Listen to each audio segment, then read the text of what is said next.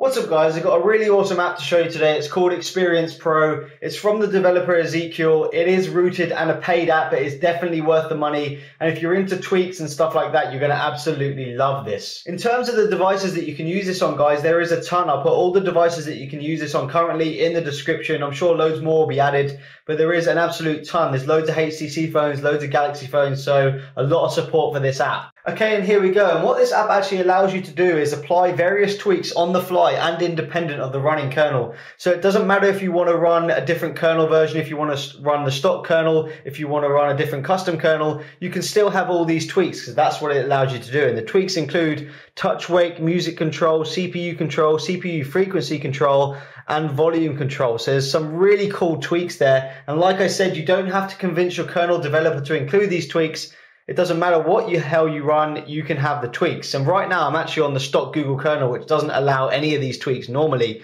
So yeah. So all you have to do to load up a tweak here, guys, is press the module status. You can see it currently it says not loaded, tap to load. If you uh, tap it, you can see it loads up the module and that's it. You're done. You're good to go. Now, obviously you have to turn it on. You can see turn it on and we'll test this out in a second. Another really good feature about this app, guys, is it allows you to hold on certain things if you don't know what it is, and a little dialogue appears telling you exactly what it is. So you can see the delay here, time in seconds defining the delay for disabling the touch controls after a screen off. So basically, after 45 seconds, I won't be able to uh, wake my device up with a touch. So I'm just going to show you how this works right now.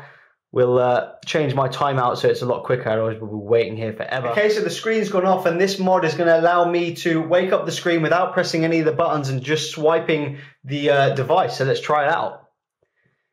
And there you go, the screen is awake. So how cool is that? You know, that isn't allowed normally on the stock Google kernel, but this app allows you to do it. Moving on, we've got music control. And what this allows you to do is use your volume rockers to change your track. So it's already on. Let me uh, go into my play music and start playing a song.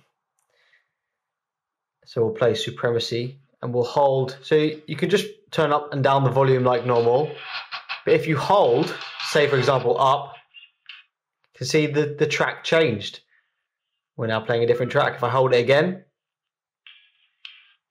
so you can see you can use your uh, volume rockers to control the track you're using. So awesome. Moving on, we've got CPU control, and this allows you to add and remove CPU frequency steps and also undervolt your CPU. So again, I'm on stock Google kernel. You weren't allowed to do this normally. And there you go. You can see I have actually undervolted it. So that's awesome. And the adding of, and removing of CPU steps is just as simple as unticking. So for example, if I don't want to use 1242 or anything else, I can untick that and boom, it won't use it. And now you can see in the, uh, in the list of my frequencies, 1242 is not there. So yeah, of course, you can also overclock. That's what adding CPU frequencies allows you to do. So you can remove, but also add, and you can see it gives you a lot of opportunities to overclock.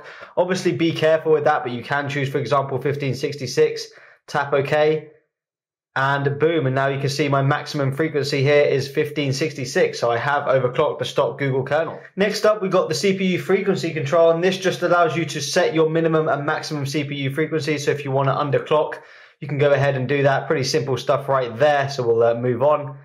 And lastly, but not least, we've got volume control, and this is a really cool one. So it lets you control every bit of volume, every speaker on your device. It'll allow you to control. So you can uh, mess around with speaker volumes, with mic volumes, headset volumes, all that is doable right here. So, yeah. So there you have it, guys. That's Experience Pro by Ezekeel. It allows you to have the tweaks without waiting for your kernel developers to incorporate them themselves. It gives you control of your device. You can pick and choose which tweaks to have and turn them on and off. I think it's absolutely amazing. I think it's a great app. I will be using it on all my devices that are rooted.